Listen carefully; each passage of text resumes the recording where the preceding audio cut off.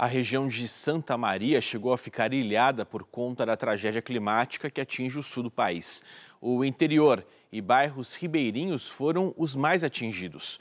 A enchente também afetou outras cidades do entorno. A chuva que caiu serena no final de semana nem se compara à enxurrada que atingiu o centro do estado no início do mês.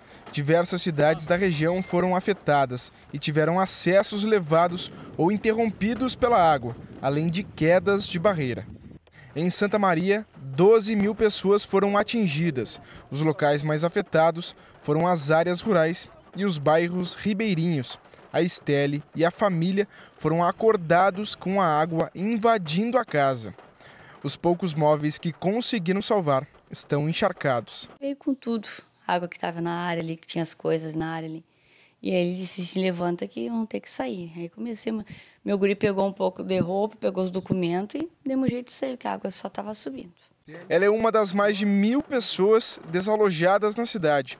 Cerca de 100 pessoas estão em abrigos, assim como o José. Ele conta que perdeu tudo e teme novos alagamentos. A gente tem medo de voltar para lá e vir outra, outra enxurrada e levar tudo de novo. Aí não adianta. O Ministério Público do Rio Grande do Sul ajuizou uma ação civil pública que determina a saída de moradores de uma área interditada por riscos de novos deslizamentos de terra. A ação vale até mesmo para aqueles que se negarem a deixar suas casas. O Morro Chechela, aqui no bairro Itararé, é uma dessas regiões. Segundo a Defesa Civil, cerca de mil pessoas terão que ir para outro lugar. O local já foi interditado, mas parte dos moradores se negam a sair. No dia 1 de maio, um deslizamento de terra matou mãe e filha soterradas. Outras três pessoas já morreram vítimas da enchente na cidade. As pessoas que saírem da Canário e da Churupa lá por determinação judicial serão bem acolhidas, serão bem acolhidas pela prefeitura.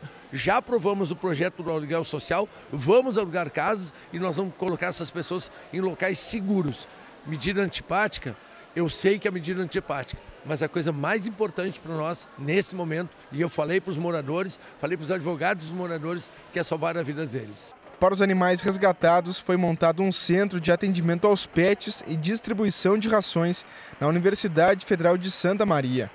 Aqui, eles são tratados, microchipados, alimentados e, após, levados para lares temporários.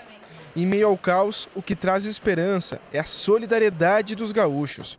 Os ginásios de esportes se tornaram centrais de doações a dona Remilda, de 90 anos, entrou na corrente do bem.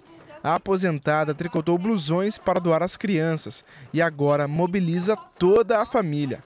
Coube à neta Luana a missão de fazer as entregas que aquecem e emocionam. A gente entregou junto uma bolachinha recheada para também alegrar, porque a gente fala muito de arroz, feijão, massa, mas a criança também gosta da bolachinha. É com amor, é com carinho e eu tenho certeza que vai aquecer muitas crianças aí.